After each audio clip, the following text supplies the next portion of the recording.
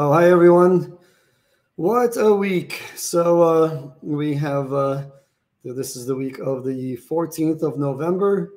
Uh, we had the biggest meltdown in crypto yet. We've had many other meltdowns, but this is the big one. And uh, there's a lot to discuss. Everything else seems like a footnote right now. Um, this is kind of normal. It's going to seem like a, the biggest deal on earth. There's a lot of lurid details can maybe talk about some of those. Um, there's a lot of uh, weird stuff, all sorts of implications, all sorts of craziness, as well as a whole bunch of dead ends. Uh, there's going to be tabloid discussions. There's going to be planes we track going off to nowhere. There's going to be cryptic messages spelled out one letter at a time. It's going to be craziness. And um, let's uh, let's just have a chat about it. I, I, don't even have a time limit today.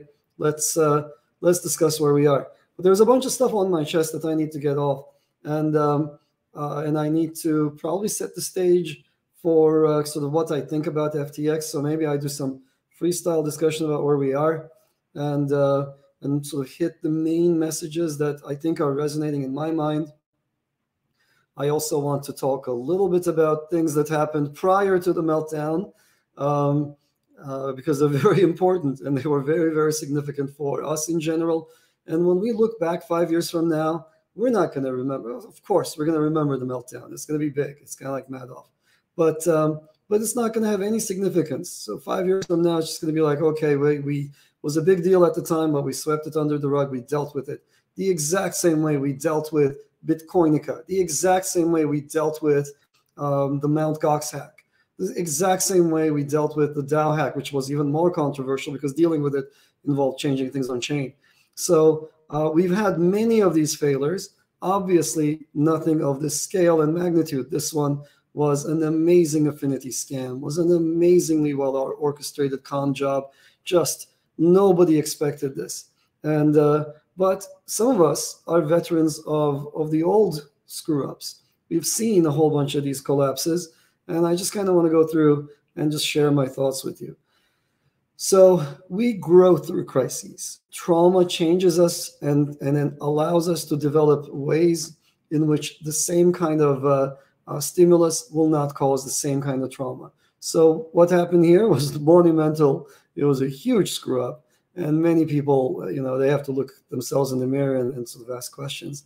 But um, but at the end of the day, it's going to make us stronger and everything passes. So I'm sure there are some of you who lost substantial sums, and um, and you know even if you know there are many of you uh, for whom you know small sums even like thirty dollars etc. Uh, might actually be substantial. So uh, so my heart goes out to you. That's the first thing that I need to get off my chest. I feel terrible. I also generally I'm an empathic person. Generally feel even every time I think about it, think about the people, etc., like Sam, etc. Even that makes me feel uh, bad. Um, but um, uh, you know, so first things first, I do encourage everybody to to take care of everybody else, and uh, you know, ask around, make sure that you support your friends. Um, those of you who were deeply affected, uh, I think uh, the entire Avalanche community uh, is is here to help you help you help support you on an emotional level, of course, um, and uh, overall, we need to find better ways. And uh, one of the main points that I want to make today is going to be that we already know those better ways. Okay, this was a failure of a centralized exchange. This was a failure of a human, a fraudster, and it's had had we been sticking true to crypto principles, none of this crap would have happened. Absolutely none of it. There'd be a, a there'd be transparency, a record a mile long, transparency and auditability all the way across and he just wouldn't have been able to borrow with uh, with none. He wouldn't be able to be able to touch other people's money. So uh, we'll move forward. We'll we'll recover from here. It's the builders that uh, that really matter. It's the building that matters. I want to touch upon that again. So what do we do now? We're going to have to go through um, the stages of grief. So it was denial. I think for many people, most of last week was just denial phase. Denial is followed by anger. So Gabriel Haynes had a great video a couple days ago with his sword in his hand in the Catskills of New York, shaking it around, screaming about Sam and his parties and orgies and the bean bags. in his mansion in the Bahamas. So uh, it was uh, it was it was lurid, and I think that's the anger phase. And the anger, you know, it's just starting now. I think, and people are beginning to look around and saying they're starting to say, "Who's behind this? Who got us to where we are?" So there's a there's a cast of characters on that list. That's a, that's that's uh, it's substantial. Okay, so uh, um, I would urge us to be cautious when we start um, when we when when you know we don't want to go into pitchfork mode. Inter- the internets are uh, are incredibly prone to doing that. It's not very healthy. Um, and uh, and when we start doing it, we end up attacking people who are not deserving as well sometimes. It's a little dangerous, but there's a cast of characters a mile long. Okay, and it starts with with forcing this kind of uh, actor overseas. It starts with giving him the imprimatur of respectability via various methods, social methods, via you know his his his uh, dalliance with uh, with people in positions of power. It's kept saying that he was close to being regulated. So uh, so all of that played into essentially the entire community um, just vetting this fellow. He was on stage with Tony Blair, on stage with Bill Clinton. So um, so there's a lot going on here. There's a lot to unpack. So we're going to go through denial, anger, there's going to be a bargaining phase. I think we're entering it. He's slowly trickling out a message. And uh, so, you know, part of me says, come on, dude, take some more of those stimulus, uh, stimulants, whatever it's on, E-stim or whatever, and finish up your damn sentence and get, get, get, get it out. Um, another part of me says, if his dad is there and he should be, um, then you should take the phone away from this guy because the fact that he is not arrested and under, uh, you know, in, in custody is it's just weird. Uh, it's just insanely weird. So in any case, there's going to be, but then we're going to get to the bargaining phase where people will try to to bargain with him, uh, and this is kind of like a you know Stockholm syndrome kind of a situation. You know, you want the pain to go away, and this is the fellow who's inflicting the pain on all of us, and so you start bargaining with him. Like, if we do this, then could you please do that? Or we won't get too upset if you you know cough up some some coins from between your couch cushions or whatnot. Those of you who know who were around uh, the Mount Gox, you know, saga, you remember how Mark Karpelès, you know, lost all the coins on his exchange and then found 200,000 Bitcoin um, around, laying around, he said. So, and then, then that came to be known as the, the coins and the couch cushions. So, um, so we're going to go to the bargaining phase. I hope we don't stay in that phase too long because there's nothing to bargain about. There's nothing to bargain over. So the uh, the bankruptcy process now has to take over, take all of his assets back, and uh, and then just let us go to the reconciliation, the acceptance phase, where we just kind of are like, okay, well, whatever happened happened. Let's make sure that it never happens again. Now, deep down, I'm a little like I can't say I'm I'm you know obviously none of us are happy about the situation, but I'm a bit relieved that the Avalanche community doesn't seem to be impacted that hard. So uh, we many of our users were not hardcore users of FTX. Many of our use many of our projects were not using FTX for their treasuries. In Solana, there are uh, wholesale projects that had their entire treasury on FTX, and now they lost all the funds they had. So uh, it's just, uh, you know, we, we are not suffering a catastrophe of that magnitude. And uh, so that's good, right? I mean, that's it could have been far worse. So uh, uh, so maybe that's a bit of the, the, the the bargaining phase, a bit of the uh, the, the sort of the Pollyanna in me. But uh, but it could have been far worse for us as a community, and this is and the situation we're in is great. We have absolutely nothing to do with FTX in general. Right? Our community doesn't depend on a Sam figure for our value proposition. There isn't, there wasn't a Sam call. Remember how Sam said to Coin Mamba, you know, sell me all your coins at three dollars and fuck off. So we don't have a figure like that. That was part of the value proposition. Nobody went to Solana because it was decentralized. They went to Solana because of the SAM affiliation, and now that turns out to be entirely hollow. So, um, so that's that's interesting for us. It's it puts us, you know, I think the damage to us going forward is going to be minimal. But, you know, let's not forget something. The damage to us was already done. It was this fellow was selling everything in his hands to prop up the Sam coins. So, so we suffered already in the hands of this fraud, and the damage was was taking place over the course of many months, years, and uh, and now it just became apparent to the public. There's uh, so that's uh, that's what it is. I think the the sort of silver lining in the cloud here is can't get worse, right? So um, so we sold everything he could have sold. We're done, right? So at least the pain to us is done. Uh, was a complicated process for for everybody else who was highly dependent on it. Now, uh, what else is there to say? There is uh, so much. Um, the uh, uh, the the there's there's a lot to say about how not to be in this position. Okay, so um, and that's important. We're, we're, starting to see exchanges get their act together, and they're starting to do something that a lot of exchanges tried to do in the aftermath of the Mt. Gox hack, which is present proof of reserves. And um, and proof of reserves is a good start. So that just says, I have all the coins that everybody deposited on me. That's what you want to say, right? I did not take your money and gamble with it. I did not take your money and put it into a yield farm thingy over there. I didn't do crazy, crazy Ponzitronic things or reflexive things. That's what an exchange wants to say. Now, there are two components to this, and proof of reserves is at best an imperfect half of the equation. Why is it imperfect? Well, because you can rent coins from someone, show reserves, and then and then and then send them back. So that's one thing to watch out for as people try to put up these proofs. You have to make sure, hey, is this real real cash that was sitting there in cold storage? or did you just rent this from someone? That's going to be important. If you see large motion uh, for the proof going into the proof, you know that's a that's a that's a red flag, huge red flag. Um, but even after that, even if you don't see the large flows, well, then then you have to look at uh, the second part of this, which is proof of liabilities. Now, how does that work? Well, you know, the fact that you have some amount of money is meaningless in and of itself. Suppose I'm an exchange and I show you proof that I have $10 billion. Um, is that good? Is that bad? This is kind of hard to tell. Um, the thing that needs to happen is you need to show an equation. You have to say, I have reserves that exceed or are equal to my liabilities.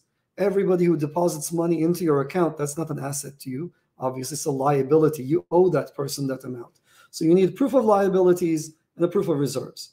So the way this is done is actually very straightforward. On the proof of reserve side, you create a Merkle tree of everything you hold and uh, you sign something over these things. You do a signature over that whole tree of, of assets that you hold. And uh, now on the on the proof of liability front, things get a little complicated. You have to you have to essentially crowdsource your proof.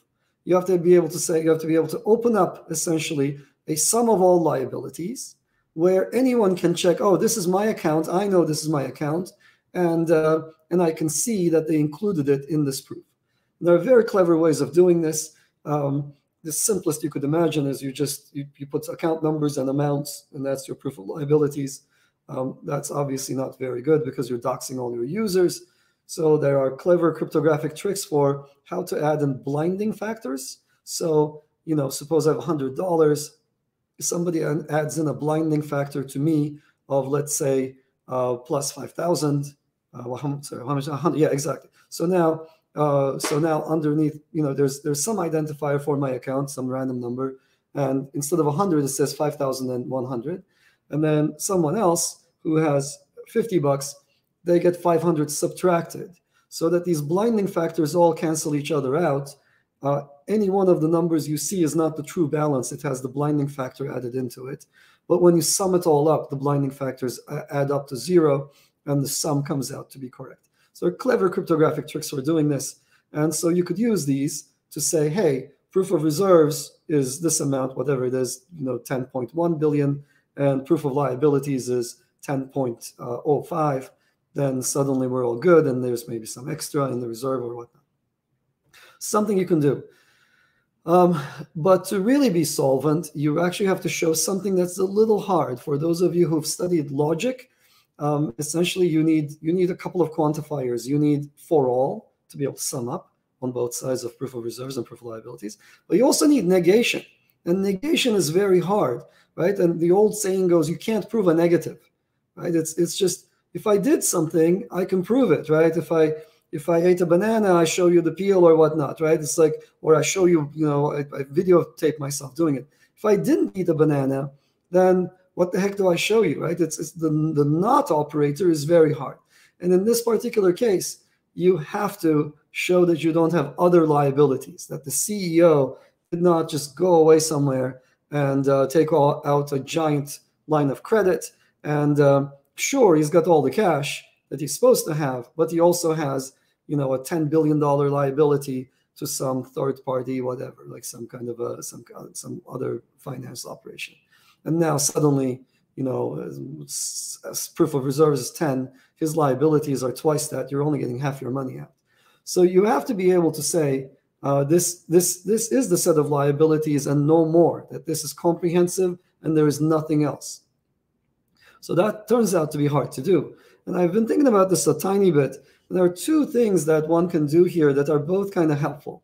One of them is uh, is essentially that if somebody is in the business of giving out lines of credit, you know, large lines of credit are, are the ones that are at stake here, and they know that you are in the business of putting up public accounting, proof of reserves, proof of liabilities, then they can force that the the uh, the lending they do to you is on your books. So this is something that I wonder will have come to pass. It's it's a little tough, but it is viral. If we demand it from some people then they will end up having to ask for it, having to make it happen. And as that happens, actually, there, we, we hold the ability to raise the level of, of accounting, uh, public accounting in the world. So, so that's kind of neat because if I demand this from Sam and Sam ends up having to get it from a lender, then lenders will end up making this a, an ongoing part of their operation. And that's actually a net good for the world.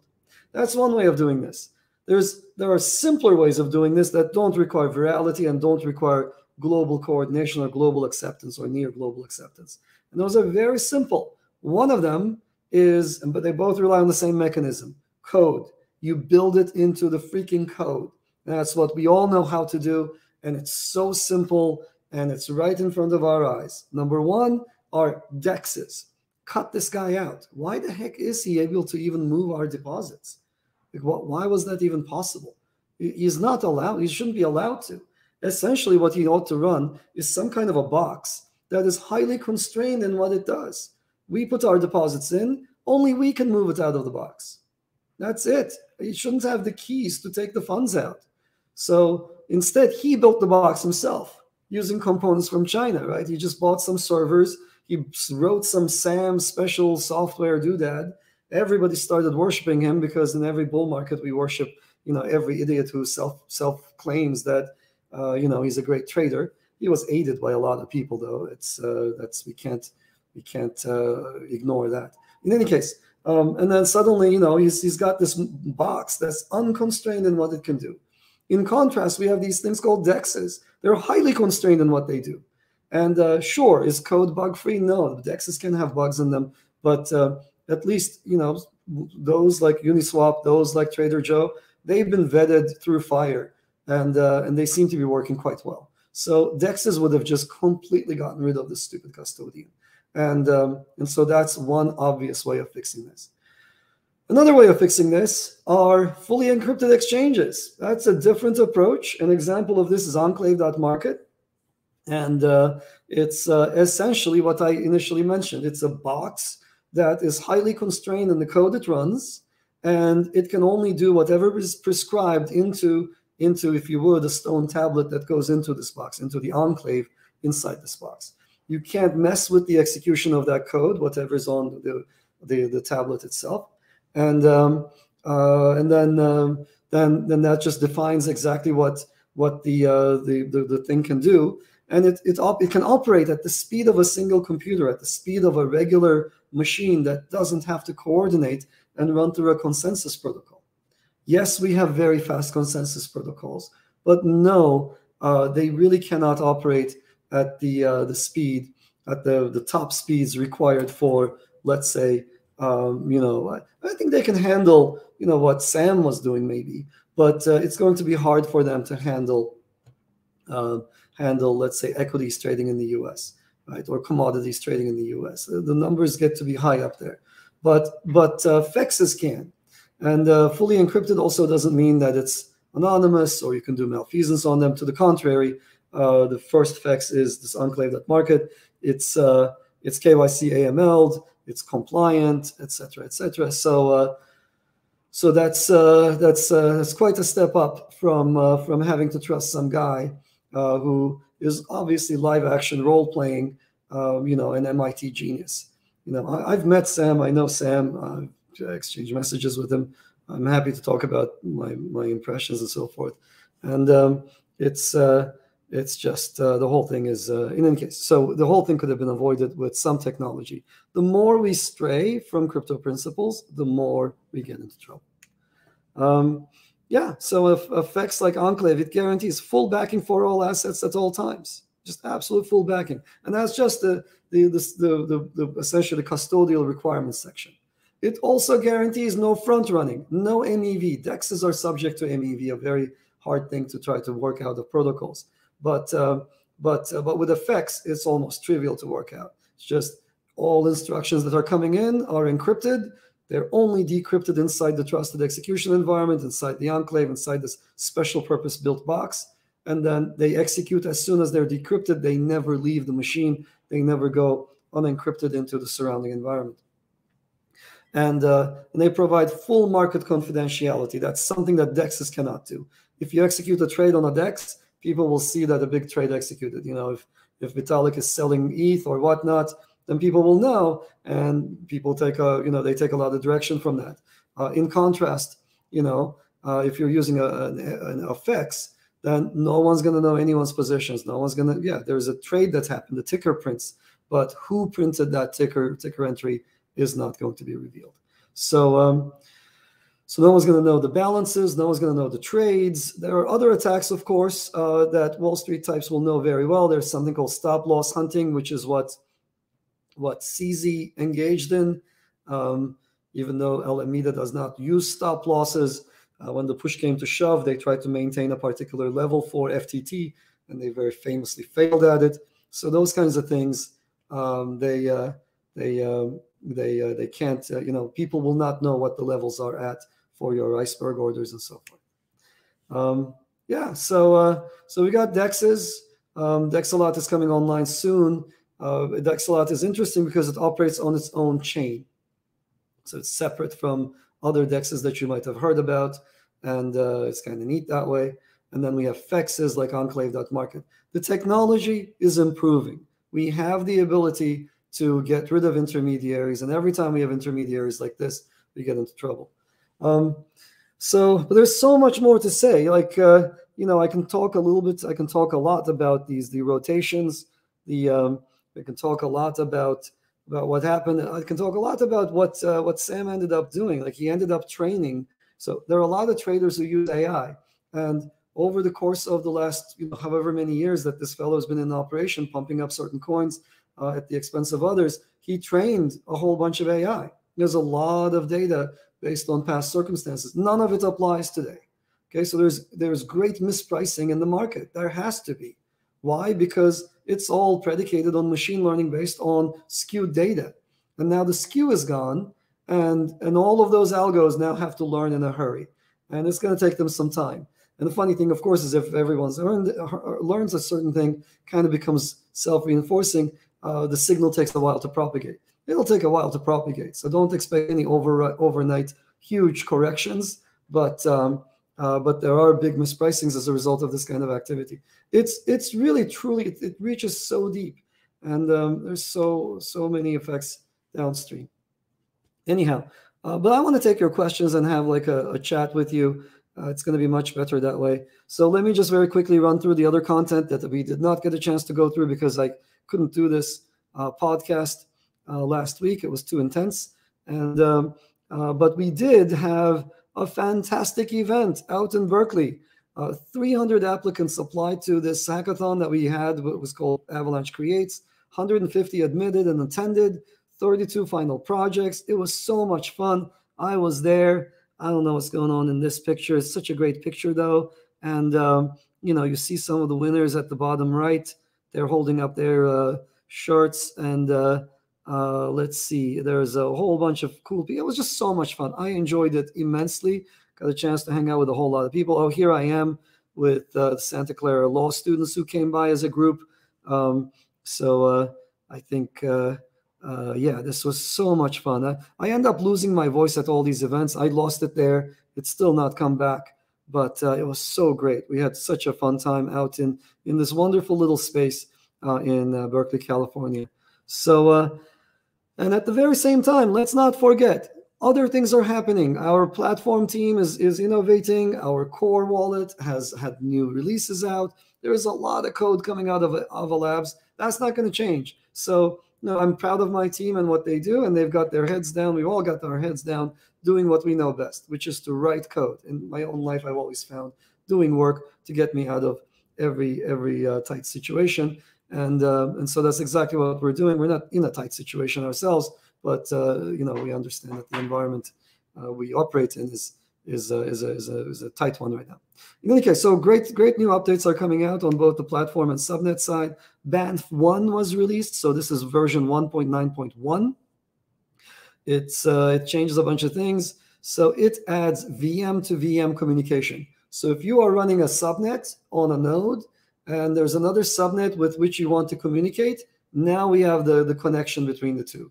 That's pretty cool. So you can say things like, you know you're on you're in your own subnet you can say something like hey somebody wants to operate on uh, on uh, let's say an account balance somebody wants to trade some some uh, uh some stuff let me go ask the avalanche c chain uh, if they have an nft or if they have uh, some other funds etc now these vms can start to communicate with each other that's really really powerful and um, uh, it is it's it's quite a big enabler, and um, and so so that's pretty cool. Um, you can do a lot with this, and uh, we will see uh, we will see people roll out uh, various different uses of it. Dexalot uses this feature because they have their own chain, they have their own subnet, and that subnet ends up getting um, you know get, ends up getting funds moved into it from the main C chain, and this is one of the things that they do. So uh, you can confirm account balances on another VM, transaction confirmations, whatever else you might want to do. It depends on what the other VM is doing. You have two disparate VMs, you know, something like, does this person have a phone number posted uh, on the Spaces VM? You could ask that question, just random, random question. Just connects any two virtual machines together. Uh, so you don't have to perform a transaction on chain. VM can very efficiently uh, query another VM too. So it's just the latest of many developments. There's so much going on. I am uh, I'm dealing with all that, and uh, it's so much fun to deal with it. Of course, that's like what keeps me, you know, keeps me going. And then of course there's this train wreck that we can't help but watch, even though we're outside of it, even though we have nothing to do with it and we're decoupled from it. Uh, it's still consuming a lot of time because it's also a tabloid uh, tabloid part of this. I had to explain the word polycule to a bunch of friends, and uh, and yeah, it's just uh, just kind of messy. Um, in any case, so uh, uh, there was oh, if you want to listen to what you can do with subnets, there was a great discussion. I don't know, ten days ago or so. Uh, I, I actually jumped into it. My picture is not there. I wasn't supposed to be there, but I made some time and jumped in. So Kevin Sekniqi, Ed Cheng, Luigi De Meo, John Nahas, and Morgan Krupetsky. Um, so we kind of talked about what's going on with institutional adoption, enterprise adoption, and Avalanche subnets. You can you can you just listen to it. I, don't let me summarize it imperfectly for you. It was so fun. And um, main takeaway: look, enterprises they move very slowly, and uh, they're familiar. By the way, financial enterprises they're very familiar with with the kinds of failures we saw at FTX. You know, so Madoff is a thing. Madoff is. I wonder if Sam will end up outdoing Madoff Madoff ended up extracting $20 billion from his Ponzi. And, um, and it looks like Sam extracted about 10 to 15 right now, but I'm sure those numbers will go up. The damage that he did is, is far worse. It's far, far worse. So, um, so we'll see how this all plays out. Um, oh, uh, we also deployed these tools. Uh, if you're a developer and you want to deploy a DApp on Avalanche, uh, you can create a subnet in no time whatsoever. You can create your own precompiles. You can just kind of merge them, you know, just choose them from a menu if you like. Uh, you can manage your local subnet deployment. It works on Mac. It works on Linux. It's uh, it's beautiful. It's really nice, by the way. So just play with it. It's fun. Um, oh, I, every time I just want to get back to your questions.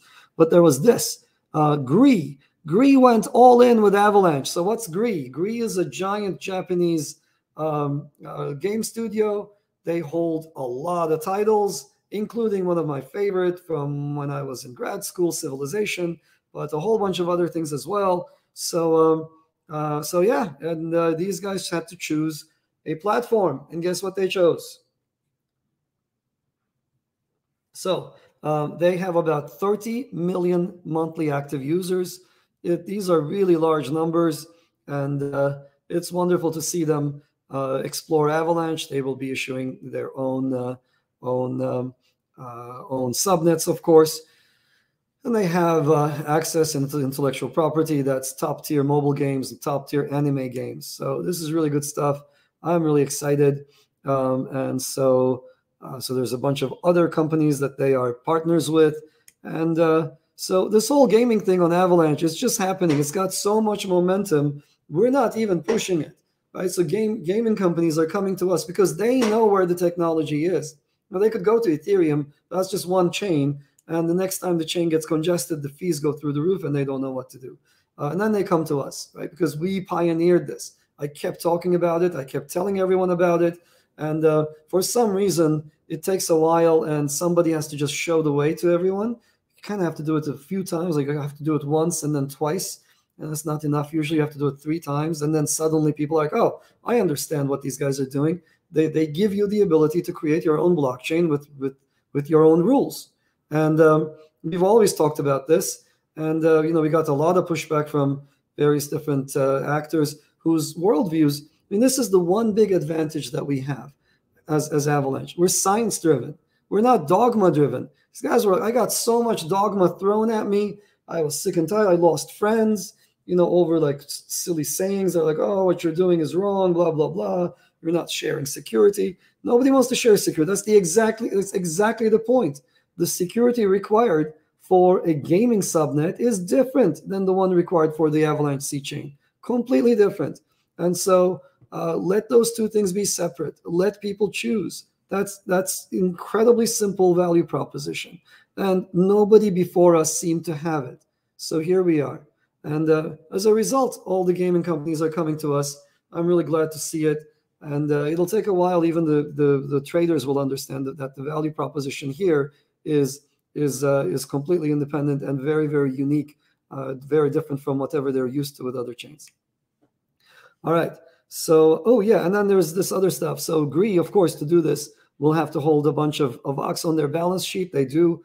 Uh, that's really nice to, to see. So then I sometimes get this silly question, well, how do you see AVAX profiting from or, or accruing value from increased subnet adoption? Here, this is how I see it. It's right in front of you. So Gree is holding a bunch of AVAX because they have to in order to run these subnets.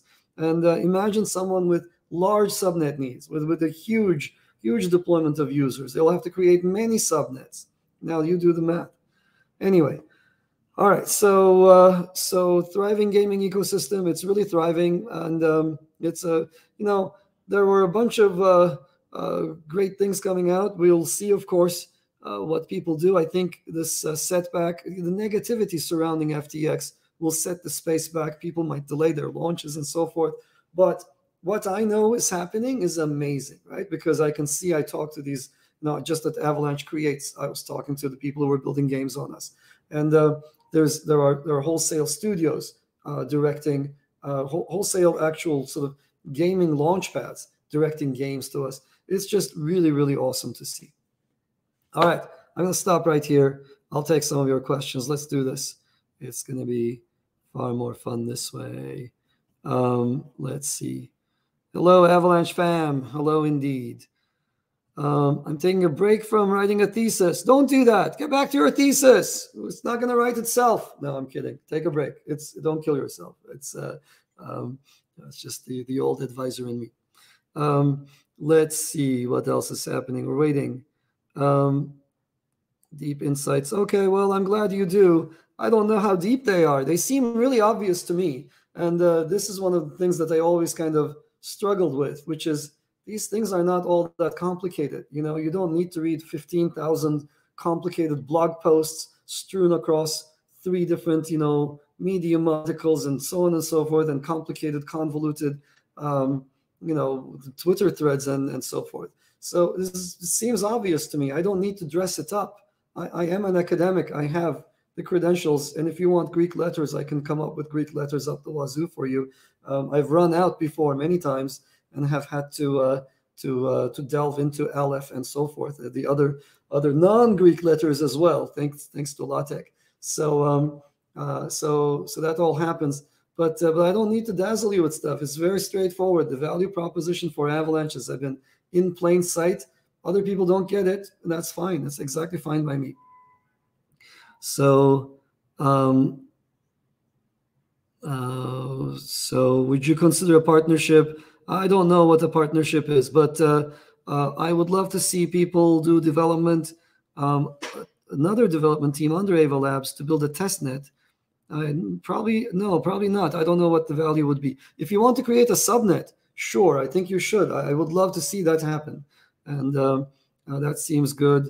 Um, but uh, we don't need another test net. I think the Fuji test net is good. We might create more test nets if we have a, a ginormous new uh, release uh, for it. That's separate from Fuji, um, but uh, but uh, I don't I don't think there's um, you know there are many other things that, that one could be doing. Uh, I think I would suggest that you come up with ways to create value for other people. That's my priority, uh, and that's that's what I suggest everybody do. this is a game of enabling others. I'm a platform builder. Um, Sam wasn't a platform builder right? Sam is just is is a trader. He's he's in effective altruism. I don't know what the hell that is. I mean I know what it is now, but uh, the brand is tarnished forever. I hope nobody ever uses that phrase. So um, uh, and and he had linear utility. The more money he made, the more he wanted to make, all because he uh, he was going to give it away or something. It's just just these things are so transparent. Anyway, um, so uh, so I don't know about any of that stuff. What I know is this: if you allow people, if you enable other people to do things they couldn't do, the world is a better place for them and you. That's as simple as that. None of this. I don't need effective altruism. I don't need that affinity network. I don't need to dress up anything.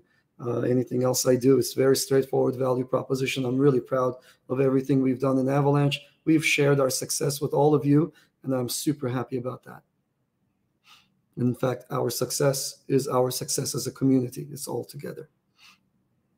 So uh, how does the downfall of FTX affect Solana and thus Avalanche? I don't know how it's going to affect Solana. I think uh, Solana is a is a there are some really fine people working in the Solana ecosystem, and uh, then there is a, a, lot of coins that they sold to FTX. Um, by my count, I think it's about fifty something million coins. They haven't all they haven't been sold. I think if Sam could have sold them, he would have, but they were locked. So now they will unlock and um, and then they're going to be in the hands of all these creditors and to get the money back they have to be sold and so forth so 50 million solana today's terms it's like uh, 600 uh, 600 million dollars or so i think uh, it's uh, 58 million maybe is, is what it is it's pretty rough so uh, so, so it's going to affect solana um, and um, uh, there were wholesale projects that had their treasuries on FTX. If FTX invested in you or Alameda Ventures invested in you, uh, they they asked apparently this is what I gather from Twitter that you keep your treasury on FTX. So um, and a lot of people did. So now they lost their entire treasury.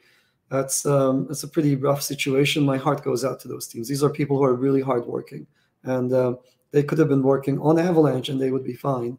And uh, and now they have to scramble uh, to uh, to find uh, alternative funds. So um, it's it's it's just really rough for for that that ecosystem. Um, as I mentioned, we're mostly unaffected, but of course, uh, you know, we're going to have all of the downstream effects of, of bad attention to our space. Uh, you know, Sam was active in, in DC. There were a lot of people, notable people who invested in FTX, including Tom Brady and Gisele um, Bündchen. And um, so, uh, you know, they, they, they invested to the tune of 650 million, they say, which other people have said, no, they did not. In any case, um, there's uh, there's a lot of craziness going on out there. Uh, so it's just just really rough for for that that ecosystem, and it'll take a long time to for the market to reprice for everything else to sort of settle down. Um, yeah, good stuff was happening outside the debacle. Exactly. There's uh, Jomari. There's so much going on uh, just around the the uh, uh, the ecosystem, our ecosystem, as you well know. I'm sure you're actually behind a lot of that development as well. Um, let's see, just 40 online users. Yeah, everybody's probably in that other space that's being held every night, hours on end. Um, it's uh, just never ends, and it's it's if if you know the IQ level seems to be a little low from the guests. I mean, some of them are brilliant. Elon came by, CZ came by, but uh, but the discussion is just just really really terrible. I, I can't stomach watching that. Um, so, uh, have you been in any doubt about Sam's mental issues or the things going on? Um, so yeah, uh, that's a good question. So um, one of the things that struck me about uh, about uh, uh, Alameda is the number of people that we interacted with was very small, and uh, the the operation seemed to be uh, very young, and again, from my vantage point, very small. I figured they had a huge group of traders that I just wasn't seeing, and I don't deal with traders, so I didn't know what was going on there. So, uh, so maybe that's what it was. That's kind of chalked it up to I don't know these traders. Um, around Sam, it was all super young people and uh, that's in and of itself you know i like working with young people myself. Um, but you know if you look at ava labs you'll see a whole bunch of very very seasoned people. I didn't see that there. That did that was a slight red flag but you know not a big big one. And um, uh, and all the other social proof that he managed to muster up just trumps all of that stuff. And um, uh, so the mental issues are what they're this this the stimulant use. He, he was you know i've had interactions with him where I thought he was um, he was a little more emotional than a normal person. So uh, uh, so that's uh, I think that was explained to me by by saying he doesn't sleep much, which would make sense. I, mean, I think that's the right explanation. He doesn't sleep much. That's what happens if you uh, if you are on on stems. Um, let's see. He can make party now in prison. Yeah. Okay. Um, so uh, Yes, we could never reach such high dramas. Never say never. So, uh, so I, I coined this phrase. Everybody was going after TPS, tra- transactions per second. I coined the phrase dramas per second, and uh, we took. I still take great pride in, in low DPS. We generally have very low DPS. We have zero DPS, except this August we had a, a rogue lawyer who was outside of, of Ava Labs uh, say crazy things to impress a, a potential client that involves Ava Labs. So that ended up uh, creating an issue. Larger image picture, please. No, why do you want to look at me? Look at me. I'm, I'm, uh, I'm, uh, I'm not looking that good today. But in any case, uh, so here we got our bigger picture. What are my usual pizza toppings? Oh, I'll tell you. I make pizza. I may I throw pizza parties. I love making pizza. I learned it during the pandemic. My my pizzas are amazing. Uh, my my favorite is obviously mozzarella pizza sauce, red sauce. Uh, the red sauce is a special ingredient that I'm not going to tell you. So, so people are listening, uh, if I throw a party, you'll have reason to come to it. There's a secret ingredient in the sauce that makes it so much better than any other pizza sauce you've ever had. Uh, then the toppings are mozzarella, of course, then pepperoni, then uh, black olives, artichoke hearts, and um, uh, peppers. And then I put uh, self. I, I, I put um, uh, pickled onions on it. So uh, that's what it is. Yield Yak becoming a top dog. Indeed, you know, kudos to Yield Yak. They're doing really well. Um, so many people are sad. I know lots of people lost money with Solana, and uh, it's it's really bad. Why did nobody think it could happen? That's a good question. Because this person came with insane amounts of social proof, and we heap social proof upon people it's it's you know sure there's going to be a witch hunt. We're going to start pointing the finger at people. Um, surely Sequoia got a lot of a lot of ridicule and rightfully so for writing that puff piece. It's like oh my god, I don't know if you guys saw this. They're like the the the VCs were amazed that this guy was playing League of Legends while he was doing a pitch to the VCs. He cared so little for, for Sequoia that the VCs like loved it. And VCs are a, are a funny bunch.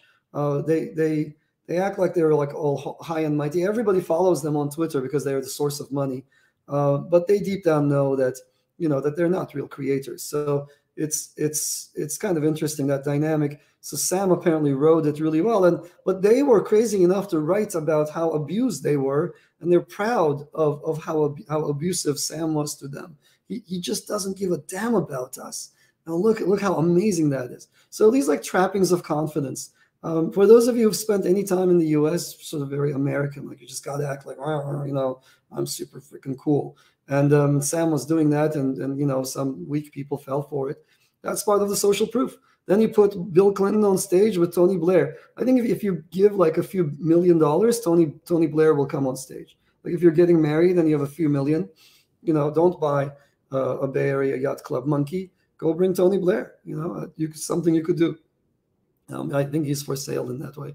So, um, so that's kind of what what's helped. But deep down, like yes, these people are, are, are all partly to blame. Everybody relied on everybody else to uh, to to do the, the due diligence, and no one did. But deep down, we got to look in the mirror at some point. You know, at the end of that anger phase, when the anger has subsided, we all have to say, what, including myself, right? So did what did I call out Sam? No, I actually didn't suspect it. Um, and uh, did I revere Sam? I didn't, at least did not revere him, but many did. And why did we revere him? Well, because he made money. Is that grounds to like actually really like someone? Absolutely not.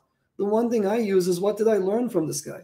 I read all those Sam Trabucco threads, you know, about strats. You know, they apparently had some strats, strat, strategy, trading strategy. Turns out the strategy is buy your own coin and pump it, then until you can't anymore, and borrow against it until you can't anymore and you go under. That's the strat at the end of the day.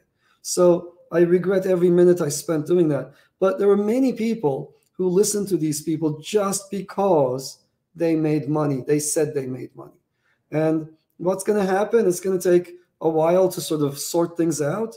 And um, we are in a bear market. Uh, the bear market will come to pass because it's the business cycle. At some point, there's still a lot of money on the sidelines waiting. So there will be time for a bull market. And when the bull market comes, I assure you, I assure you, the same people will do the exact same thing. There's going to be another guy, not Sam, but Mam or whatever his name might be then. Okay, some some new person, probably with a different kind of a hook. We've we've had the MIT whiz kid boy thing. You know that that shtick is not going to work out anymore. The crazy hair, the cultivated look. Oh, let me say something about that. This is important to me. So um, there are certain tropes, right? Einstein with his crazy hair and his irreverent style. And you know the the the forgetful professor which i kind of like sometimes i have some elements of um, or the guy who's so geeky he doesn't know how to tie his shoes and so forth. These are trappings the external trappings okay? These are external images. And anybody who plays into them is probably doing that on purpose to take advantage of us. True genius doesn't look like that. I know true genius because i worked with it as a professor. I was lucky enough to have taught. I tried to count how many students I've taught. It's many, many thousands. So I've worked with many, many, many, many incredibly talented people, and they're all unique in their own way. There is no one thing. Like if you see somebody triggering a particular trope, they're doing it on purpose. And those puff pieces, the, the piece about how he had $10 billion, that was my first big red flag a true billionaire doesn't go out advertising how much money he has. Something that comes out uh, involuntarily. He, it was clear that that was a, a, piece that he authored about himself, and and that was my first sign to be cautious. And I'm glad we were so cautious. I'm glad we kept our distance. So how can we control uh, black money? I think black money means, uh, in this case, how can we control uh, unwanted money flows? Uh, you know, the um, uh, black market money flows. We can't. That's uh, uh, how governments can control. That's easy. So governments can control this. They control it at the edges. It's called enforcement. It's very, very easy. Uh, so when somebody's taking money out of any system, you simply say, "Where'd you find it from? How did you get come to own this?" And they need to show you some proof. That's it's that simple. This is what's actually employed now. If suddenly you receive a bank transfer of you know a billion dollars someone's going to come to and you try to take it out in cash let's say in a giant truck. Someone's going to come to you and say hey what are you doing over there? And you have to pony up an explanation. It's it's that simple. The on ramps and off ramps are the right places for enforcement.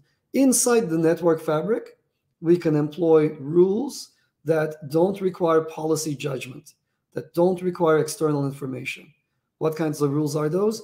Best match at an exchange, uh, custodial, non-custodial relationship with money flows, etc. You know, like dexes. A dex should be correct. Sure, we build the dex into the fabric, but um, but anything else that requires human judgment, the right thing to do is to do it at the edges where the humans are involved. Can an can subnet be ISO 20022? I looked up 20022 just the other day, and then I have forgotten what it was. Yes, but the answer is yes. A subnet can be anything because it's its own separate chain. It can be absolutely uh, its own thing because it doesn't depend on the operation of any, anything else for its correctness. When new roadmap, I'm not a huge fan of roadmaps, uh, but I do plan to issue one by the end of this year. Uh, why am I not a big fan of roadmaps? Roadmaps are typically abused by people to string the, the audiences around. Just, just look at how, what happened with all the roadmaps you know. All of them. They are so appealing. There's like magic in them, right? Pixie dust. And, uh, you know, uh, FUBAR number three is going to come online. And then, you know, zero knowledge and uh, million knowledge proofs are going to be changing the world. one could sprinkle all sorts of hyperplonks are coming. You know, why not? Right? You could just add any kind of magic you want.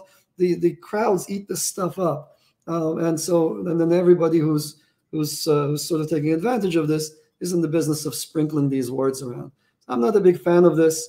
I find it wrong, and um, uh, the intent. I find the intent a little wrong, and uh, and in general, nobody is able to keep up with their own roadmaps. Right? There's like roadmap uh, explosion going on, and there's a whole bunch of uh, you know, everybody gets delayed. The world's simplest thing, switch from proof of work to proof of stake, took umpteen more years than planned and there's like so much more to do ahead of that particular roadmap. Um, and uh, there are many other roadmaps stuck up in peer review and so on. So uh, it's just uh, just kind of hard uh, hard to uh, to uh, yeah. It's just you know it's it's just not a good game to be in. So um, but but I think you're right that that the community needs to know at least what I'm working on. So I don't mind telling people what I'm going to be working on and uh, what kinds of things are on my mind. That's partly the point of these podcasts, and uh, that would be useful, I think. Uh, but uh, uh, but uh, but certainly, you know, where Avalanche goes is a is a collaborative decision that we all make. in any case, um, so. Um, I watched a video the other day about Tor being rewritten in Rust. Would this be beneficial to builders on Avalanche? You know, anonymous communication protocols are completely independent of and very complementary to blockchains. I love them, it turns out. Uh, Tor is is a good system. Uh, it's one of the, it provides, um, it might be providing sufficient anonymity for most uses. It doesn't provide the strongest. There are even stronger, better ways of doing anonymous communication. One of them is called the Dining Cryptographer Network, by the way. And um, uh, those are my favorite ones because they actually provide unconditional uh, anonymity as opposed to st statistical anonymity.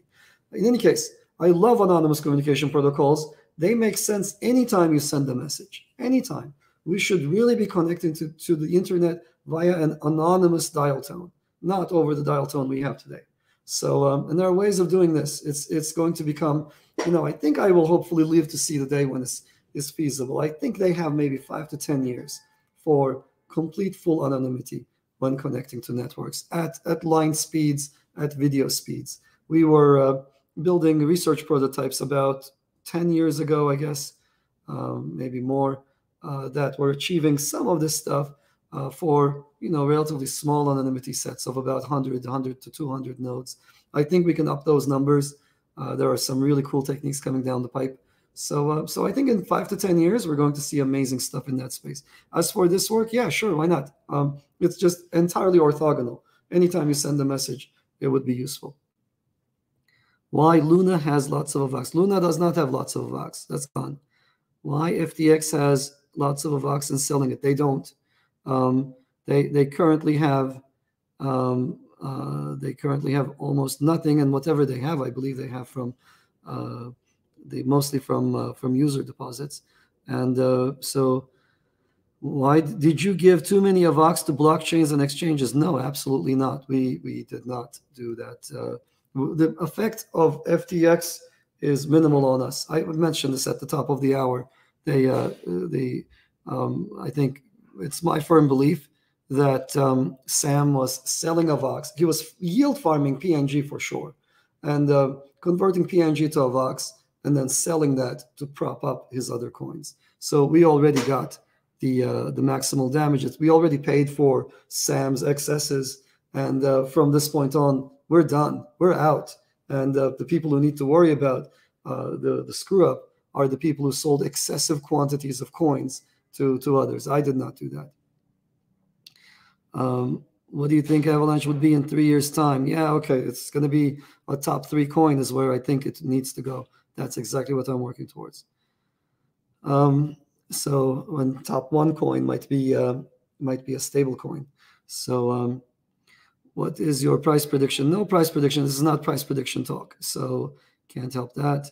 Um, so, ooh, that's a good question. How will subnets evolve to integrate both public and private sectors?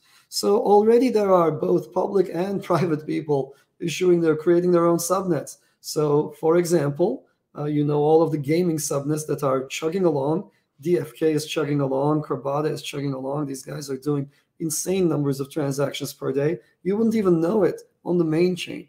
Doesn't affect the fees at all. So it's wonderful. I told everybody that we would get fee isolation, uh, and we had that. So uh, in performance isolation, we have that. And um, uh, in addition, I mean, these are just games, so they're not going to integrate with the public sector. Um, or maybe they might actually. I'll tell you how. Um, and uh, in addition, um, Ava Labs is working with Deloitte to build a subnet for FEMA. So uh, when Hurricane Sandy happened, as you know, after every disaster, FEMA disperses huge amounts of money to people who were affected, and they try to do some accounting. That accounting takes many years to to resolve. Why? Because it's complicated. Because there's no single source of truth. You have to make sure everybody got paid uh, exactly once. You have to reconcile the books. So, uh, so FEMA, so from, from Sandy, for example, the Sandy books just got closed about a year ago, if I'm not mistaken.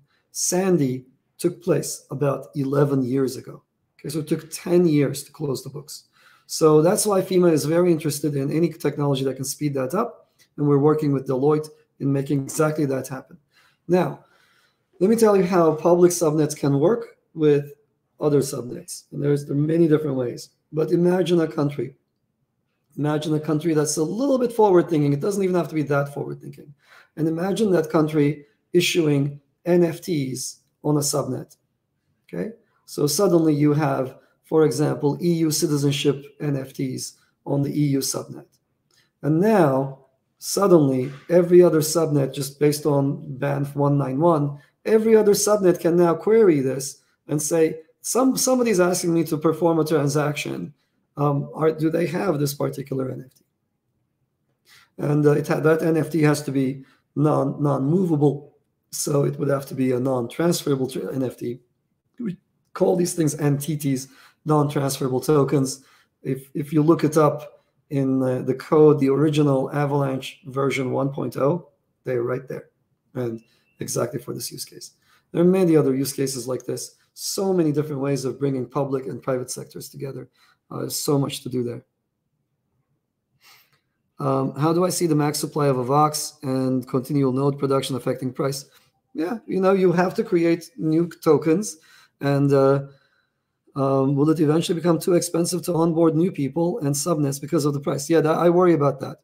I would like to make sure that we don't hit that point. It's it's we're not near there yet. Um, but uh, but it's something that I worry about. Um, I do believe that over time the requirements for for staking have to come down, and um, and so we've always talked about this. The community supports this in in spades, so uh, that's something on the roadmap. And um, uh, so right, that's uh, that's a good question. Video quality is a lot better. Did, did I change the camera? Yes, I changed my camera. I still look a little odd. I think I, this is not my real color. If I saw if you saw me in real life, I would look a little more healthy. I look a little jaundiced at the moment, but it is it's a better video camera. Um, let's see, uh, BTCB. Yes, we should talk about BTCB. It's uh, it's bitcoins on Avalanche. They're incredibly useful and they move really fast. and um, you can use them in DeFi. So, uh, uh, and you don't need to go through a custodian to get them. You can just install Core Wallet, bridge your BTC over. It's all a, a, something that you do yourself. And um, on the other end, you get the BTC bees out. The wrapping operation is entirely under your control. Same key is used on two net different networks, both Bitcoin and the Avalanche network. Now that there is Rust VM support, yeah, isn't that cool? So now you can write virtual machines on Avalanche in Rust. Couldn't you rather easily deploy a Solana compatible subnet? Yes, we could. To attract Solana dApps and developers, yes, we could. Um, into the Avalanche ecosystem. That's possible. It would be directly com competing with Solana. Um, it would be perceived as being highly predatory. And um, it would be a big burden, and I am not so confident about the correctness of the Solana runtime. So um, like I would have to actually spend a lot of time making sure that we are not putting out some code that is potentially that has some kind of a flaw in it. You know, the runtime did have one little flaw, and it led to a, I think a three hundred million dollar hack on the on one of the bridges. So so yes, everything you said, the answer is yes, but um, it's not something I want to undertake. So uh, mostly because I don't, I don't want to be, um, you know, I don't want. It's like a, it's, it's, you know, Solana should do Solana things. It's fine. Uh, this is different, and uh, and I think people in that ecosystem, they're in there because they bought into the to tokens and coins. Uh, they will not just switch over just because we have Rust over here as well. So uh, and also the, the you know the the code that's been written in that ecosystem because of Solana's strict limitations on how big a packet can be, on how big a transaction can be. It's not all that complicated, so it's fairly easy to port that stuff into uh, into Avalanche. You don't need to. Uh, we don't need to go through this huge effort and undertake the risk of issuing a subnet based on a virtual machine that might have issues in it. Uh, is the secret sauce paprika? No, it's not paprika. Oh, paprika is good though. I, I put it on top afterwards. Um, okay, one core mobile coming up soon. I can't can't wait. Um, I know many people use mobile over PC. I know, I know, I do too. Uh, we're we're going to uh, to get that. Um, Wonderland debacle. Wonderland was a very different kind of a system. It, everything was up in code. It was a three three ohm ohm three three fork. Um, it's uh, you know something that somebody else did on top of uh, on top of us, and uh, much smaller scale, and uh, and and it was all transparent. If you read the code, you know what was going to happen. Some of the players involved in in Wonderland, the the fellow in charge of the, the treasury, turned out to be people with a past um, that we didn't know about. So. Um, uh, but it was fairly trans like the Wonderland code. Whatever the operation was out there, it was very transparent. Whereas SBF is just straight up fraud and very large scale. Okay, working on the stablecoin, fantastic. Uh, stablecoin deliverable gold through geocaching in the US. Are you geocaching gold? Well, Stephen, you have to be careful with your OPSEC because now people will follow you around, and uh, you know every time you, you bury something, they'll dig it up And you can have a lot of fun with that. Um, our value would, proposition would be to use stable gas, stable stake, and the governance token token would be volatile. That's an idea. You could totally do that today. You could totally have a subnet with your own coin. That coin can be a stable coin. It's just the world is your oyster. You could just do this. Um, and uh, we talked about this on the enterprise adoption um, discussion. So there's stuff coming down the line that uses stablecoins. Um, hi, Giacomo. Uh, you're welcome. Uh, you're way too too kind for this industry. No, you know, I, I, don't think I'm being kind. I'm just sharing what I think. This is kind of therapy for me as well. If I didn't do this, I'd be doom scrolling and uh, you know looking at pictures of that crazy compound, wondering about what happened on the bean bags, and so on. So this is uh, uh, so that's uh, that's that's what it is. I mentioned self-regulation. I mentioned that often. If we don't self-regulate, somebody else will come in. They'll be called in to regulate us. Like regulators don't necessarily venture in on their own. People people have this notion that these are really evil people chomping at the bit to come in. They don't. We invite them in. In the bargaining phase, people will, or in the anger phase, people will be asking for, you know, step for regulators to step in. At the current phase, I'm asking for, you know, I, I kind of think it's crazy that Sam still has his phone and is tweeting one letter at a time, right? Like, I think somebody has to step in in this phase, take his phone away, uh, and uh, and maybe uh, maybe put him in a in a in a room and ask him some hard questions. So I don't know why that's not happening. In any case, people get called in for regulation uh, to regulate an industry that's incapable of regulating itself. If we behave ourselves, if we actually keep bad actors down, it won't be necessary. So next bull run, don't just go running to the very first guy or gal or whoever who, who shows up uh, saying that they're uh, an amazing trader. And uh, don't just put somebody up on a pedestal because they show they exhibit, you know, little trappings of wealth. Um, you know, this is like these are immaterial. And uh, but you know, I have a feeling I know what's going to happen, so because it's exactly what happened last time. And uh, in any case, don't do that. If you don't do that, if if we uh, exhibit due diligence, then regulators will have no reason to come in. Binance announced a recovery fund. Yes. Uh, do you see if Binance is going to act like central bank of crypto, or or will it have same problems? There should be no central bank of crypto. That is an antithetical. I know CZ well enough to say that he does not want to be the central bank of crypto.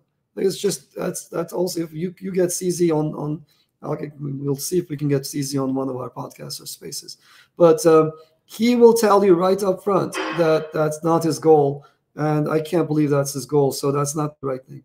Uh, I, what he announced is a recovery fund. So that's a sensible thing to want to have as an industry initiative. If you have enough of a fund, you buy into it, people pay into it, and when the going gets rough, they can withdraw from it.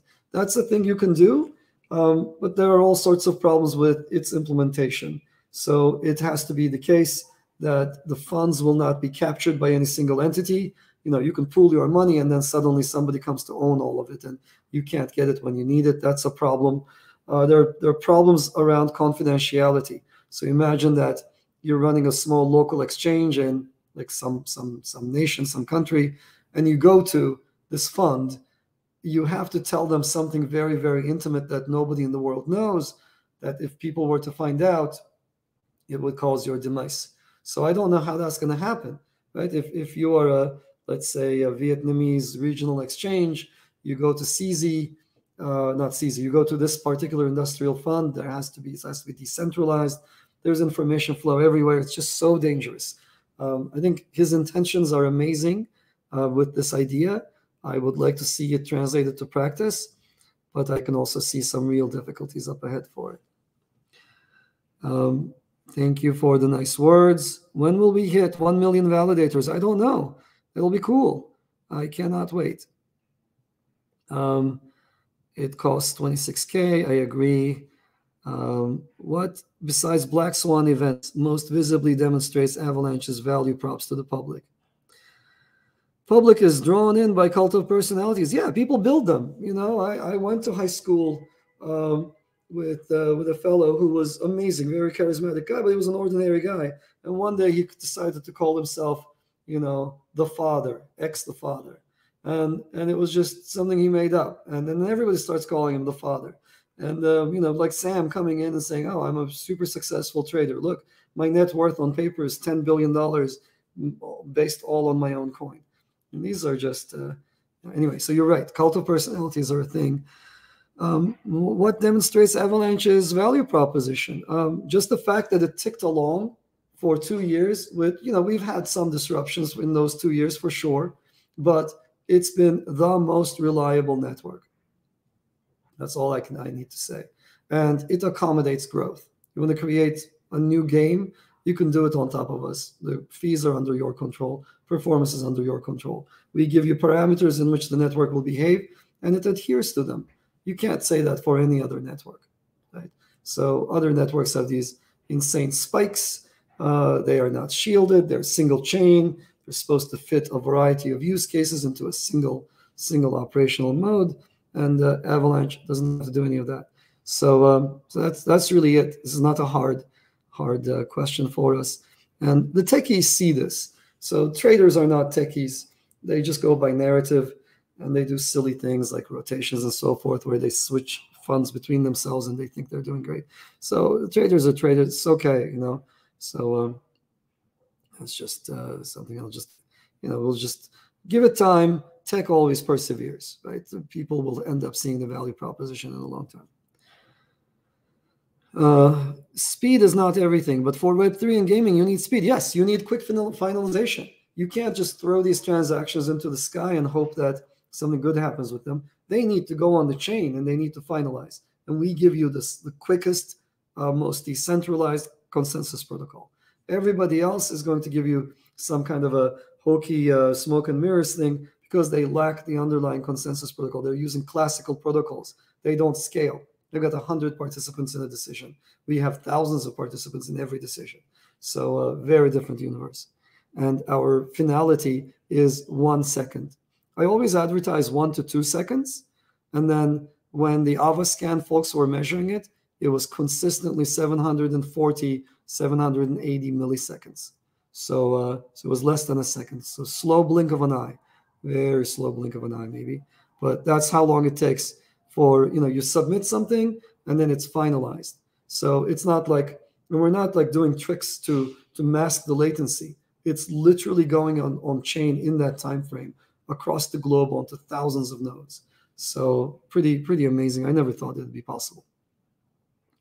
Any plans for a decentralized debit card? Um, yeah, maybe I, every now and then, uh, you know, these opportunities present themselves. Uh, that would be interesting. And um, uh, so if somebody else wants to do this, I think they should. They could. Anybody could. This is fairly straightforward. This is a separable business. And um, uh, so, uh, you know, um, at some point, if we think that there's enough demand for a new payment system, uh, this might be this might be an idea. If there's enough demand from users, this might be an idea. Visa is doing 150,000 TPS. Why blockchains can't? They can't because Visa is doing that under certain conditions in a data center and uh, under test conditions in a data center. And uh, blockchains are necessarily distributed across the globe. And speed of light is what it is. So you can't, there's actual physical limits to how fast you can run that consensus protocol. So Visa also operates all of their nodes with the assumption that all of them are correct because they own every node and there's no other tampering, there's no other other entity inside their network. So uh, in contrast, the consensus protocols we need to run in a public blockchain have to assume that some of the actors could be actively working to to take the system down. And uh, that's why it's going to be always slower. Now, having said that, don't look at these numbers. These numbers are coming from Visa's special purpose tests. So they're they're trying to peak it and they're trying to see like you know at its peak what what number of TPS were we able to absorb, etc. Uh, for one, we don't know if they're sustainable, and for another, these are not the loads that that Visa is seeing today. Look at the other report that Visa issues. I looked at the last one. I forget what year it's from. It's always a few years delayed, but um, the last one with numbers. Take a look at the number of transactions they cleared in a month and then divide by the number of seconds in the month. Okay, that's that's the way to do it. And when I did it last time, the answer was 1700, 1700 transactions per second. That's the average speed that transactions come to them with. So there's going to be variations there, but but 1700 it is. That's not much. Avalanche can do that with thousands of validators. So cheers, guys. And when I saw this, I was flabbergasted that that we could achieve something that uh, that was that was multiple times faster than what Visa could do on a single chain. And how many chains can we have? We can have as many as we like. So I can actually ramp up that number. Um, I can have the C chain at its max, and I can have a million other chains in parallel. And so, so actually, we can outdo these numbers, not on a single chain perhaps, but in aggregate. And Visa's numbers are going to be aggregate numbers as well, by the way. So I think we're in, in, an amazing situation. This tech is, is actually maturing, and the people who know what they're doing is are far ahead of the, of the curve. Um, okay, Teddy Crash. I don't know what Teddies are. Um, copy paste Solana to a subnet. Yeah, we discussed this. It's just too too much risk for too little payoff. I think. Um, could, could I explain what a polycule is? A polycule is a set of people in a polyamorous relationship. I think uh, I don't know if they have to live together. I don't think they have to live together. It's a set of people in a in a polyamorous relationship. Transitive closure of um, of uh, now. Actually, now that we talk about it, what what the hell is the proper graph theoretic definition of a of a polycule? Is it is it the transitive closure? Because then it's very big. Is it is it a strongly connected component that is, uh, you know, you take away all the peripherals. Like if A is going out with B, who's going out with C, who's going out with A, that's a triangle. That's a polycule. But if B is also going out with D, are they part of the polycule or is it just ABC?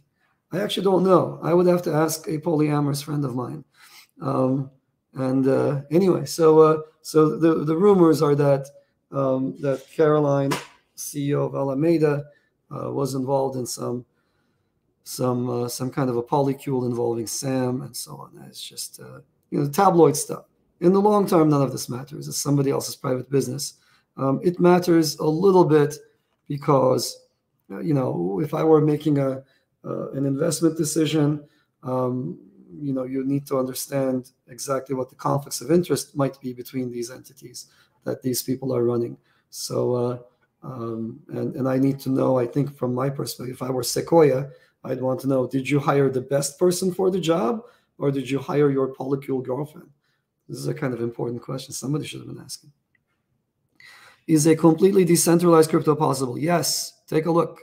Take a look at Avalanche. And uh, am I running? Uh, how long are we? When you talk about finality, is that X chain? Um, X or C, they, they are actually pretty pretty fast both. Um, if everyone did self custody, yes. Can token prices appreciate? Yes. Without centralized exchanges, marketplaces, yes. Um, that's uh, a good question. Um, we do not need centralized exchanges. People flock to these things because the convenience factor. These they're really nice in their user interface. They're supremely fast. So, um, uh, can we offer an experience to users that is DEX based or FEX based that is just as fast? That's going to be the question going forward for a technologist. And I know that FEXs have amazing features. They also provide confidentiality features. If you deal with a SEX, with a, with a CEX, with a centralized exchange, you don't know if there's an insider leaking information. In fact, I will tell you, you know for sure that there is an insider leaking information. If there is a, a, a prominent sale by a prominent ent- entity, if somebody is shorting this or, or longing that, um, you know, people in this industry get to find out because it leaks out. People are people, they leak out. Someone talks to their polycule boyfriend or girlfriend or whatnot, and then the next thing it's out, or they whatever it is. They, they talk to their significant other who talks to a friend who's for trusted friends with blah blah blah, and within six six hops, the whole world knows this stuff. So um, so we need we need we need exchanges we can trust like dexes and we need exchanges that can provide confidentiality like fexes at the speed of a centralized exchange. That's that's the the challenge and uh, and we'll see. We'll see if we meet it. I'm working hard on making fexes work as fast as possible. Um, enclave market it's not a full fex. It's not doesn't have a spot market so it wouldn't compare. Uh, but but take a look and let's also not forget, FTX also had perps, right? It had it wasn't just spot; it also had perps. In fact, it first had perps, and uh, perps are perpetuals. These are futures essentially, and uh, people went to them because uh, they, you could you could trade perps. So there's a bunch of things that need to happen that compete with uh, with what these guys were offering. I mean, they also offered uh, one of the big value propositions that that FTX offered was quote liquidations were orderly so sometimes when uh, when somebody is levered and they need to unlever, they need to sell some of their collateral. That can trigger a price drop that triggers another person to have to sell, and that can cascade all the way down. And suddenly you can cascade down to zero in a particular asset. These are highly undesired situations, obviously, uh, but they can happen. And what everyone was telling us was, "Oh, FTX is amazing. It has the world's best liquidation engine."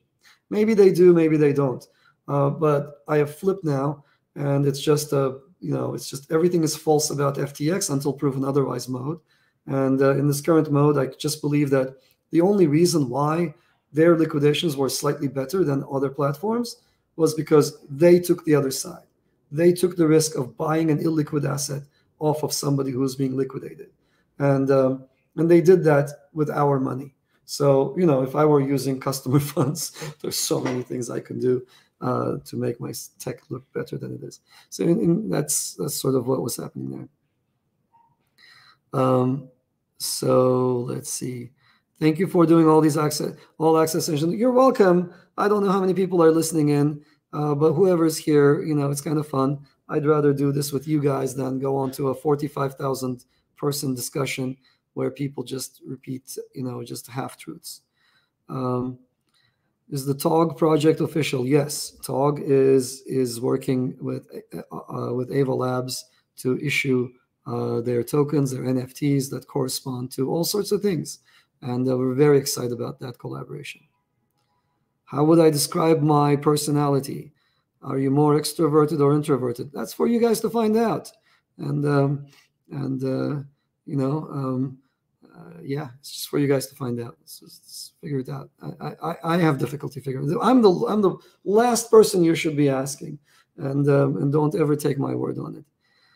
Okay, so I think we're getting to the end of this. Um, so why does the number of people participating in a single decision matter?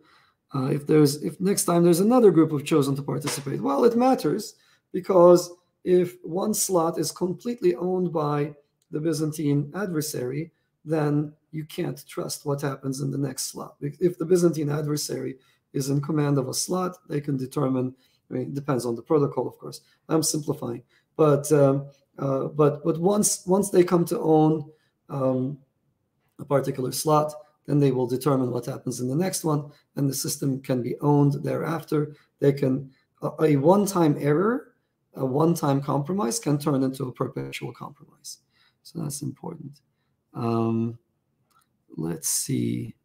Uh, AVAX native algorithmic stablecoin. Yes, I have a bunch of thoughts. I've thought a lot about uh, algorithmic stablecoins. They're wonderful. Um, they uh, a lot of the designs. We wrote the first art, first um, taxonomy for stable coins. I, am one of the co-authors of the, of the three co-authors. The other is Kevin Sekniqi. Uh, also, he's the he's, uh, co-founder at Ava Labs with me. And um, so uh, we classified these things, and we noted that algorithmic stablecoins have two Schelling points, two game theoretic uh, so equilibria. One where the coin is at the peg, you know, one dollar for one coin if you have your peg to a dollar, and the other one where it's completely worthless. And the intermediate stages are are highly unstable. So if the peg, if you lose the peg to 90 cents, then um, it's difficult to build the right sort of force field to to feed it towards one dollar. Typically, this thing tends to go to zero. Um, so that's uh, it's it's what it is. Um, and uh, there's so much academic work to do in this space, and there's so much intelligent stuff to do. And um, Luna represented one approach. It was one of the most fragile approaches. Uh, MakerDAO has tried this. MakerDAO did not collapse, right? MakerDAO ended up changing the way they work so that they're backing uh, backing coins are now fiat stable coins. It became a different kind of a thing altogether. But uh, but it is possible to build more resilient algorithmic uh, stable coins I highly encourage you to do it. I would love to see the results. If you have a white paper on the topic, uh, then send it to me. I'd love to read it. If you want or don't, it's okay too. I'll launch it and I'd love to take a look at it, make it public. It's just really cool stuff. There is much more innovation to be done. Uh, keep in mind, of course, that there have been many countries that try to keep their coins stable with respect to to uh, to another and, uh, and failed at it. So this is a task that humans are not very good at. I'm sure there are better results to be had than what we have now. And uh, there is some risk. So I don't think you can, like, you can't possibly peg something to another thing uh, where, where the two, you know, without essentially having this thing be a multiple of the other one, right? So, um, uh, so, uh, so anything that you do in this space, you're going to end up taking some risk under the curve and uh, changing the shape of that curve. and um, and maybe you can put it so far out and make it you know make you know when disasters disaster strikes very very rarely but when it strikes it's absolutely horrible that kind of a t- trade-off is one that could be explored perhaps anyhow i've thought a lot about this it's really really exciting it's it's not something i'm working on actively right now but it's wonderful if you are and um, uh, so all right, other questions. More secure network with too many validators, or is many many more single validators better? I don't know what that means. Uh, the more validators you have, the better it is, I think. Uh, is liquid staking the next ticking time bomb? Yes, I have some worries about liquid staking. It's uh, it's uh, it's got its own issues. So um, uh, so yes, it's something that I'm worried about. Digital Pound Foundation, fantastic idea. Can't wait. Bank of England. I've spoken to them a few times, and wonderful set of people. Um, they are going to be very, very, very slow in moving. CBDCs are going to kind of not go anywhere in the current climate, except if the uh, if if in February um, Prime Minister Xi of China says anything whatsoever about blockchain, then all of a sudden the central banks will put their plans into action. So they're worried about China doing something and uh, and we'll see what happens there. Um, so uh, any alpha on the teleporter Kevin talked about? Oh yeah, Kevin. Yes, the alpha is that I uh, I chase Kevin around the office with a stick in my hand every time he he leaks some alpha. That's the alpha. He's wonderful, by the way, incredibly brilliant. Um, and uh, uh, but but keeping his mouth closed is not his uh, his strongest suit. So um, I think I should probably stop here. Um, ah, this is a good question to end on. Everyone makes mistakes. It's how they admit and correct that we judge them. Absolutely. Everybody makes mistakes. There are bugs in every body of code. Um, and um, and there are judgment judgment errors in judgment uh, everywhere every, you know, all the time by everybody and it is absolutely right that the true mettle of a, of a, of a person comes out when they're under stress after they've screwed up. So, can Ava Labs assure that it will be 100% transparent when things go bad? Um, absolutely. Absolutely. Can Ava Labs assure this? Um, yes. I don't know how, but uh, you have my commitment that I will be transparent with you when we screw up, uh, or when I screw up, at least. So, um, or when, when anything I control screws up. So, uh, uh, yeah, it's. Uh, I think we had some transparent discussions after the uh, the uh, the the Luna deal. I think we talked about that. I don't want to revisit that thing, but uh, uh, we ended up doing a partnership with Luna. It wasn't big, um, you know, compared to the many, many, many billions of coins that the Avalanche Foundation had. We did a relatively small coin swap, and um, we lost some money on that and uh, it was it was a mistake in retrospect, but it was it was so un, undeniably a force that you either had to get crushed by it or partner with it. Luna was eating all the growth in the space. Every dollar that came in was going to it. And uh, what were you going to do? You could issue your own coin, which I decided was stupid. Only stupid people do that. Your own your own algorithmic stablecoin equivalent of what Luna was doing. It was like this is going not this is not this this requires special expertise and, and a huge effort to to make work um, or instead you do um, you do uh, you do what we did which was we partner with them and uh, that partnership is fine uh, but uh, obviously luna crashed so that can happen um, and MakerDAO did not crash, right? So there was precedent for it to go better, um, and uh, and it didn't, and it's, it's, this was a mistake. And so other than that, I think we've made a bunch of incredibly good calls, technology-wise uh, and and business-wise. So um, so I'm pretty happy with where we are. Uh, we can't control third parties. That's a general problem. You can you can select them uh, up front, but then how they diverge from you is not under your control. So. Um, uh, you can you can reduce your exposure to them. I don't. So that's one of the reasons why we never did any sale of the magnitude that that uh, that happened to to FTX. Right, FTX ended up having enormous sums of money in terms of a certain coin, and uh, we didn't do that. Right, so we just wouldn't any party. And um, and that was a good idea in retrospect. So uh, uh, yeah, I think uh, I think that's sort of uh, that's sort of where we are. Um, you know, there are those things that we can control, and uh, and so mistakes can happen. Um, but I think I've been very very transparent about our reasoning and uh, about our outcomes, and I'm I'm really glad that that we ended up not doing Uh, any kind of a tight partnership with FTX.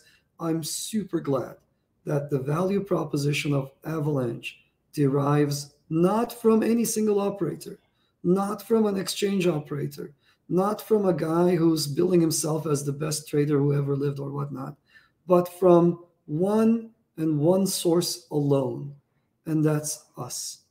It's the community that gives it value, and no other source. And I'm really glad about that. That's why we're resilient. That's why we're here. That's why we're doing well while others are dealing with uh, with essentially uh, latent centralization in their ecosystems.